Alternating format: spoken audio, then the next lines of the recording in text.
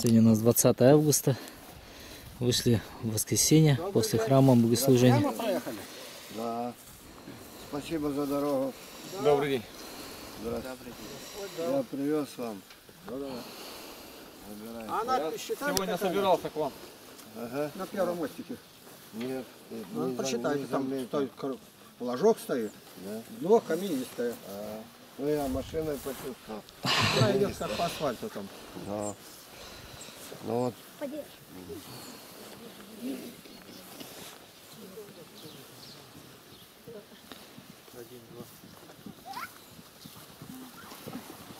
Здравствуйте всем. С праздником вас тоже всех. Ну что, мы меду привезли немного. Медовый спас приехал. Да. Ну. После медового спаса Добрый день. качают мед вообще-то. Уже продают давно. Что, Лена, Ну, объявляй. продают. Продавают, у нас все продают. Занятие в час будет в школе. По какой цене? 1100. Геннадий, громко заяви. Ну, как прошлый год? Мед 1100 стоит. Трехлитровая банка. Как прошлый год?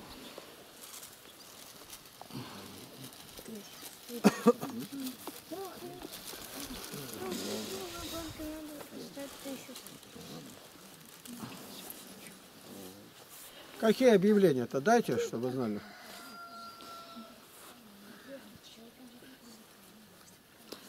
Все живы здоровы, Еще нет, ни у кого? Может, ты какие-то новости привез, нет? Сегодня приедет. Какие новости? Нам платформу делают на разъезде Да. усиленными. Ну, Я немножко скажу тогда о молитве. В молитве главное качество – доверие Богу. Написано, напрасно бодрствует страж, если Господь не охраняет города. День и ночь будут охранять и все равно сделает покушение. Когда в Далласе Джон Кеннеди Фитджеральд проезжал, его охраняло 1500 человек. И ФБР, и ЦРУ, и все равно убили. 1500 человек одновременно смотрели, чтобы его не убили. Его убили. Почему? Иисус говорит, и не пришел час его. Вот сейчас придет, и все, сейчас все публикует, сколько было покушений на Гитлера. Притом, покушения настолько тщательно подготовлены были, даже вообразить нельзя. Там, где у него зал выступать, в это время пробирался один человек ночами и долбил стену, и заложил туда мину, заштукатурил, закрасил, и никто не знает, где он будет выступать. А он внезапно изменяет, приходит на целый час раньше, и взрыв раздастся, погибнут люди, когда его там нету. Шауфенберг, то там на него покушение было. В этот момент было жарко, если бы там было, все погибли в бункере. Он его на веранду вынес, там деревянная конструкция. И в момент, когда взрыву раздастся, он склонился над столом карты и только ногу поранило. То есть ничего нет, пришло время, свой пистолет поможет уйти из жизни. Напрасно строит, если Господь не поможет, ничего не сделал. Да никакая грамота, ни деньги, ничего не поможет.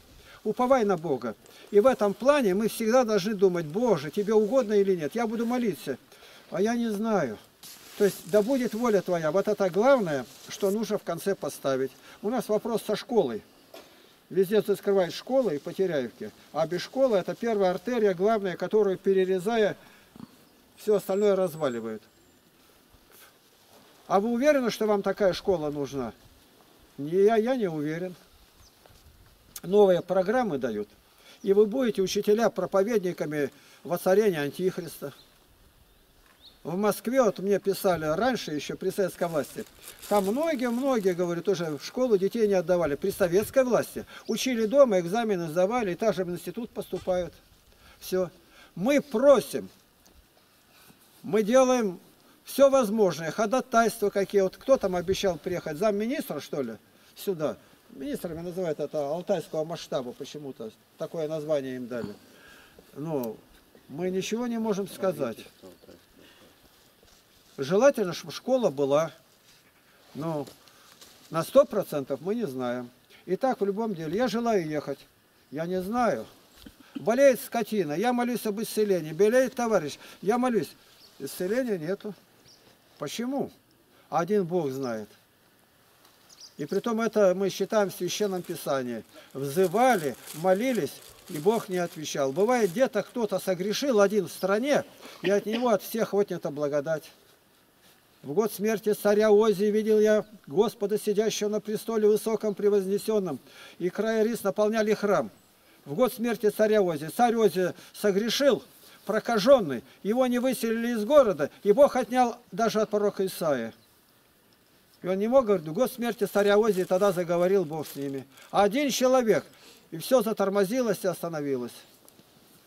И он не может сказать, ну ты скажи, ты Божий человек, как поступать? Не знаю. И вдруг заговорил, почему? Царь умер, все, дверь открыта. По-человечески это несправедливо. Причем тут царь, когда все живут праведно? Ты за эти слова тоже будешь отвечать. Ты должен соглашаться, что, Господи, воля Твоя да будет. Да, мы желаем, мы просим, мы строимся. А нужно ли это будет Богу в конечный счет? Не мешает ли тебе душу спасти? Вот это наиглавнейшее. Потому что по-человечески мы живы, а по Божьему, может быть, просто это живое кладбище. Сын мой был мертв. Это Бог дает определение ему. А он гулял с товарищами, у него много подружек было. Он ушел из дома отца. Вспомните, 15 глава из книги э, Евангелия от Луки. И отец говорит, сын мой был мертв. Мертвый он был. Он Бога не знал. Он не делился советом ни с родителями, ни с кем. Он делал, как хотел. Он, я не знаю, посылал телеграмму отцу, отец, я нуждаюсь.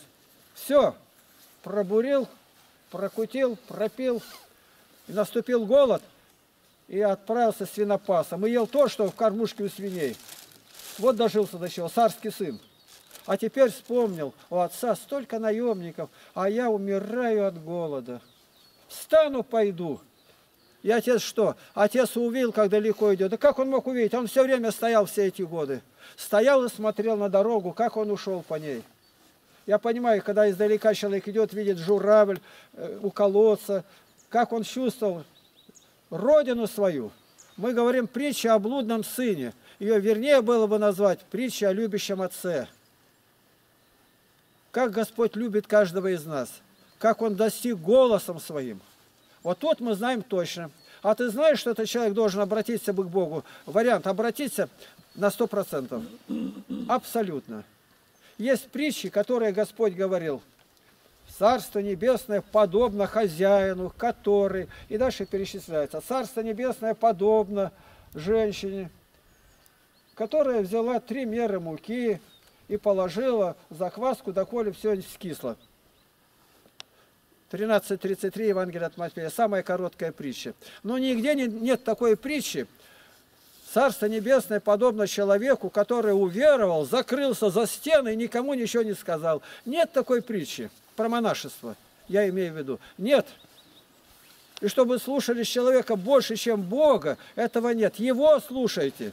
А если Бога слушали, монастыри в один день развалились бы все. Потому что сплошь и рядом – настоятели говорят, совершенно не, не сходится с Библией. Я говорю, откуда вы это берете? Ну, вот так у нас принято, мой Ава умирал, сказал. Когда день рождения мой будете отмечать, или день кончины, чтобы пирожки с маком были. Ну и наказ. Пирожки с маком. Да я их без воспоминания люблю. Да еще с медом, если. Наказ. А вспомни, как Владимир Мономах, умирая, какие наказы давал. Все и как, чтобы белье не сгнило, пронафталинить его надо, на солнышке пропарить, но все время и говорил о Боге. Если вы будете с Богом, все у вас будет получаться. Почему сегодня столь много неурядиц без Бога? И о ком не думали, говорит, он возвысился. Совершенно неожиданно. Я недавно просчитал статистику, сколько депутатов избраны, у которых уголовное прошлое.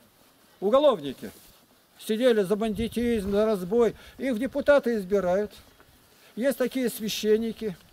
Во главе банды оказался священник. Машины воровали, перекрашивали и прочее. А как узнать? Все мы не узнаем. Но если будем молиться, Господь покажет. Если Он делает такие дела, то слова его все равно будут не сходиться со Словом Божьим. Если вот мы стали с утра до вечера, я делаю так. Угодно ли это Богу? А все время один вопрос. Угодно ли это Богу? И Слово Божие. Не знаешь, спроси, кто знает. А что Господь говорит по этому? Я жил у одной хозяйки, Захара Улита Григорьевна в Искитиме. Ну и собрались там, кажется, священники у нас были, ну, разные люди, старообрядцы были. Возник спор. Она зашла и говорит, а почему вы не говорите, что в Библии написано? То есть я жил на квартире, она много слышала. Открыли Библию, все споры закончились. Приходится голову склонить. Да, мы не правы. Мы не правы. Женщина, я ее все время вспоминаю. Простой вопрос, а что об этом говорит Святая Библия? Что? Нужен нам мед или не нужен? А что важнее, соль или мед? Вот два вопроса. Библия об этом говорит. Ешь мед. И до какой? И дальше говорится, и в жертву мед никогда не приносили, а только соль. А что нам для здоровья важнее? Соль. Без меда все могут прожить, без соли никто. Она в крови у нас соль, а солома. А необходим мед очень даже, особенно больным сердцем и другим. Это такой продукт, который дается кому-то с великим трудом. Я о пчелках говорю. Может, я ошибаюсь, но я где-то просчитал, больше миллиона цветков нужно посетить пчелам, чтобы один килограмм набрать. Поэтому благодарим Бога, что к нам приезжают люди. Не сахар перегнали, который пчел, а настоящий мед. Вы мне бутылку подарили в прошлый раз, что-то дорога поминалась, Алексей. И я помаленьку каждый вечер. И он мед на пользу вечером особенно, на ночь. После усталости. Я. Поэтому я рекомендую, у кого есть возможность, желание приобрести. Я один раз приобрел у него сразу 30 банок. И подаю по 5 тысяч. Он говорит, что деньги, то ли рисуете. Я решил сделать всем подарок бабушкам. Ни одна банка не была продана, все были подарены. Потому что мне дали кто-то денег, ну, я ими так распорядился. Решил. И все равно ваша вот эта бутылка, ну что на полторы, для меня очень дороги. Тем более вы помянули про дорогу. А я столько в нее вложил, не расскажешь. Вот щебенка. Ну какая тут щебенка? Это 232 тысячи отдали. Это 232 банки. Поставь сюда. Да вам за машине, на машине за раз не привезти столько. Поэтому, ну, как сказать, одобрение сделанное на дороге для нас очень дорого. Я благодарю вас. Я выражаю вам спасибо. И когда услышал, что вы столько сил потратили на эту дорогу, ну вот для меня это, ну как бы сказать, даже представить не могу, чтобы я мог сделать такое. Вот Понимаете? это первый мостик, долго мы роковали. Э, Мост нам не сделал, а только свай. Я говорю, свай не трожь, это память о наших предках. Какие они умные были. Они где-то лист- лиственницу доставали. Зимние, зимой заготовлена, когда вся смола в нею. И ямы делали глиняные и замачивали в извести на несколько лет. И поэтому она стоит больше ста лет этим уже Еще столбам. стоят, да. Потому что на следующий год будет ровно 200 лет, как Потеряевка была зафиксирована в крае. 200 лет на, вот, на следующий год будет. Это абсолютно точные данные я и получил оттуда. Ну, первые-то люди поселились раньше, конечно. И что они такое место прекрасное выбрали. И как перегораживали лага, и вообще удивительно. Какие были умные люди. И поэтому вот я думал, как, чтобы можно было ездить и не размывало. В прошлом году мы сделали, тут осенью размыло и все. И поэтому туда загнали около семи машин только камня. Все это, бульдозер 18 тонн это все вдавил, ну и потом дальше уложили. Подправляем все время. Батюшка пугает, что мостик прорвет, второй, там канал есть. А я его хочу поднять еще на 75 сантиметров выше. Сейчас там около трех метров глубина уже. Такой глубины никогда раньше не было, благодаря вот этому. Если еще поднять, то вчера мы одного карася поймал, вот Сергей Павлович, и мы карася туда на машине увезли, благословили его. Плодиться, размножаться. Я написал ролик, карася отправили в роддом. Видите? Если бы кто-то поймал карася, не сетью, чтобы жабры не были повреждены, и подпустили. Карась он зароется, а карпа покупают, он э, не выдерживает зимы, он любит, чтобы проточная была чистая вода. И поэтому вот нынче мы сделали то, что хотели. Но как весной будет, мы запасные камни там, видите, приготовили. Это все непросто было. Вот нынче вот это удовольствие мне 153 тысячи обошлось. И Ну, сколь- ну, есть что посмотреть. по- Помимо этого.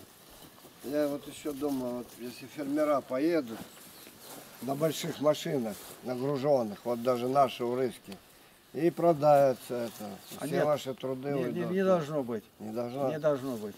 Если даже что-то и где-то, у нас запасной, только добавил и все, слой.